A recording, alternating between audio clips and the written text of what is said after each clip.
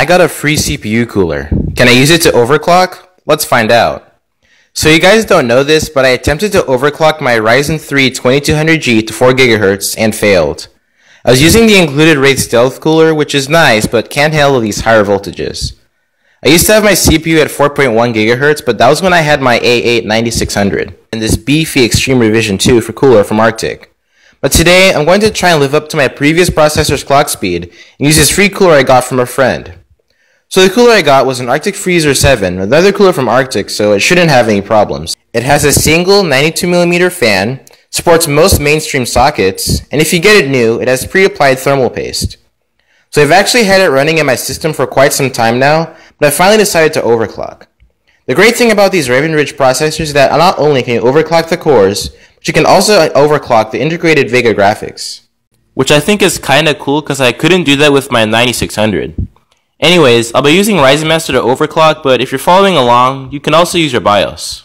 So I'm going to go straight up to 4 GHz, then adjust the voltage to get it stable. After that, I'll push the Vega 8 graphics to 1300 MHz, then adjust the voltage accordingly. Well, without further ado, let's dive straight in. Okay, so I have my CPU set to 4 GHz, so now let's restart Windows and run Prime 95. Okay, so Ryzen Master is not working. I ran Cinebench and it was basically the same as last time. Windows says it's at 3.5 GHz, but it still turbos to like 3.96 GHz. So that's strange. If I'm just reading it wrong, please let me know.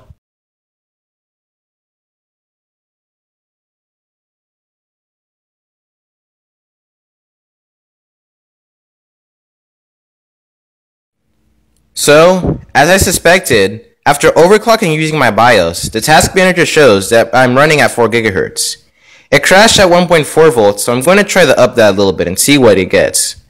So I ended up lowering the voltage to 1.425, but even that seems to need a little more.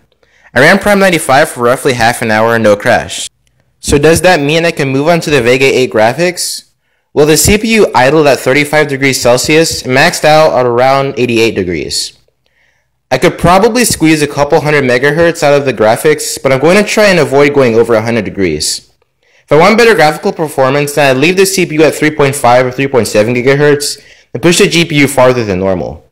But for now, 4 gigahertz is my goal, so let's do some benchmarking. So, in Cinebench R15, I got a score of 604 for the CPU test, and for the OpenGL test, I got 56.14 FPS.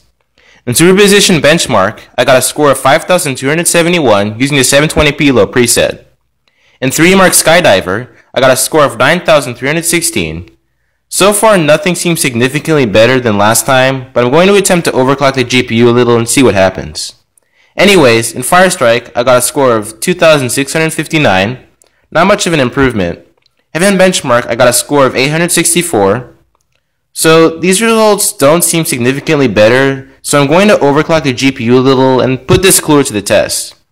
Okay, I have it set to 1300 MHz, so let's see what the attempts are now.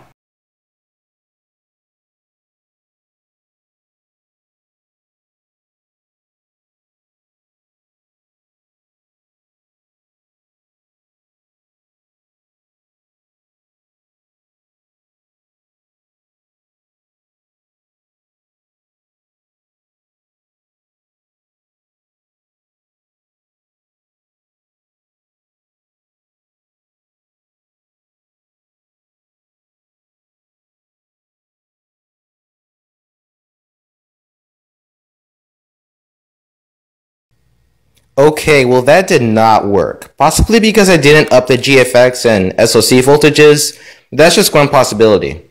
One thing I did find out was that I was actually running the Vega graphics at 400 MHz, which surely explains a lot. So without using Ryzen Master, I set it to 1100 MHz, which it should have been at to begin with. So at 1100 MHz, it should still be stable, so I ran Superposition Benchmark. My score is basically the same as last time. 3DMark Skydiver, same as last time. CPU test for Cinebench, I got a score of 605. The OpenGL, I got 56.90 FPS. So nothing really different here, but has gaming improved any? Well, in Minecraft, again with shaders, I got the same basic results. Same goes for Fortnite. I didn't benchmark for very long, but it didn't seem to choke up as bad as it did last time. So after doing all of this, you might still be wondering, what did this actually do? Well, video editing should be a whole lot smoother, and the overall usage of the computer should be better. If you want better gaming performance, then comment below and I'll do another video just for overclocking the iGPU.